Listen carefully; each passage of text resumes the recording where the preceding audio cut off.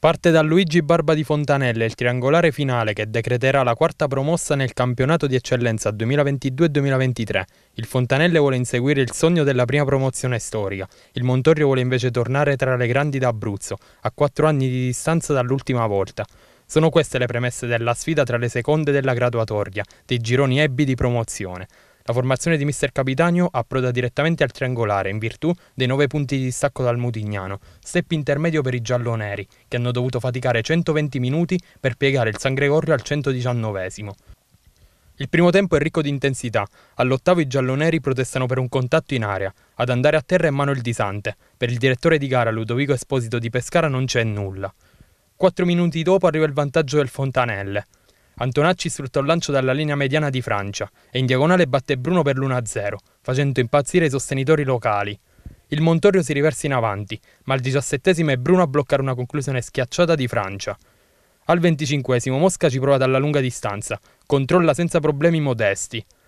Alla mezz'ora, sugli sviluppi di un corner, Antonacci si gira e conclude, palla che bacia l'esterno della rete.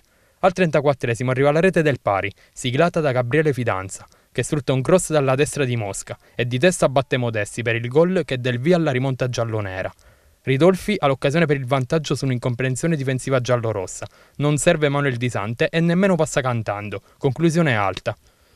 Al 42esimo episodio da Moviola nell'area di casa. Vanno a terra Manuel Di Sante e Fidanza, ma per Esposito non c'è nulla, se non un fallo in attacco. Con le riprese di Mario Giacchetta passiamo al secondo tempo, che si apre con la traversa colpita dal solito Fidanza. La trama è la stessa del primo gol. Manuel Di Santi al nono si mette in proprio, converge verso il centro e lascia partire un tiro a giro, ma è solo corner, nel quale Ridolfi non trova la zampata vincente in mischia.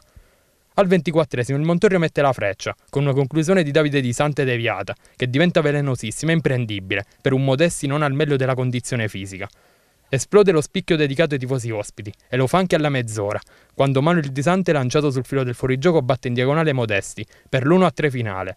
Reagisce il Fontanelle, Francia raccoglie un cross dalla destra di Di Domenico, ma telefona a Bruno. Al 46esimo Samuele Di Sante con il sinistro prova a riaprire la sfida, conclusione che però non sortisce l'effetto sperato. Stessa sorte incontra la conclusione all'interno dell'area di Perini. Bruno è bravo ad opporsi con il corpo. Nell'ultimo minuto di gara Gridelli ha l'occasione per il poker, ma cestina così sull'opposizione di Marcozzi. Termina così, i primi tre punti del triangolare vanno al Montorio. Il Fontanelle ora dovrà giocarsi tutto nella sfida di Ortona, domenica 5 maggio. Un martello pneumatico dal primo all'ultimo minuto in telecronaca eh, avrei voluto dire De Eugenio è capace di giocare in un match del genere. Magari, magari, almeno, almeno mi sfogavo. No dai, bene dai.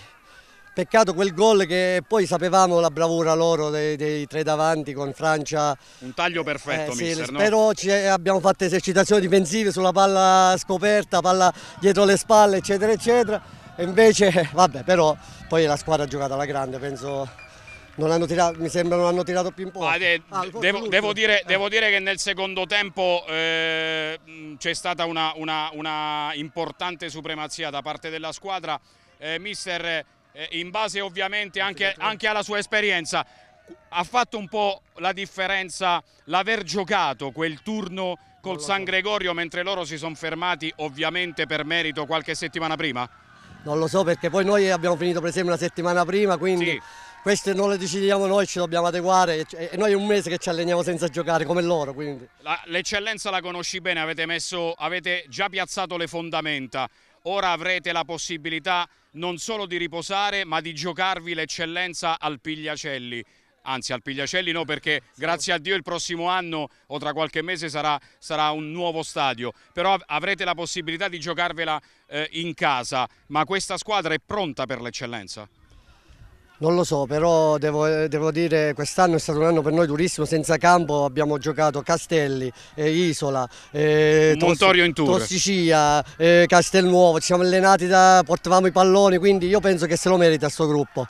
al di là di se sono pronti o no, diventeremo pronti se ce la facciamo. Mister, eh, tanti saluti eh, con gli avversari soprattutto e questo è un ottimo segnale non solo da parte sua ma eh, credo da parte di tutta la società.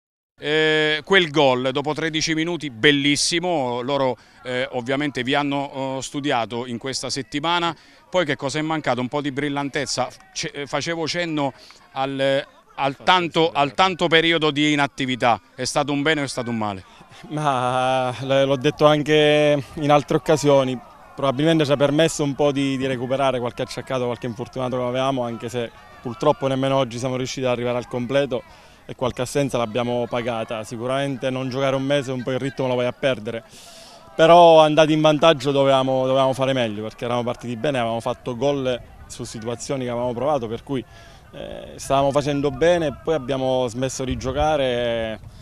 Quando smetti di giocare il rischio è che, che subisci gol ci sta, abbiamo preso l'1-1 Purtroppo poi abbiamo commesso troppi errori e quando sbagli soprattutto in sì, quel pallone perso davanti all'area di rigore eh, pesano, sanguinoso pesano. e soprattutto, non so se sto eh, dicendo il vero, eh, sul tiro di Disante ovviamente la spinta di Modesti è stata limitata da quel piccolo problema, però un portiere del genere non può uscire tra virgolette sì, sì, in un match così importante. No, ha provato a stringere i denti, probabilmente fosse stato al 100% poteva arrivarci, non so credo sia stato anche deviato, il tiro non è stato nemmeno fortunato, però ci sta, abbiamo fatto il massimo, potevamo fare meglio, è bello vincere ma bisogna anche saper perdere, facciamo i complimenti a loro, siamo contenti di quanto fatto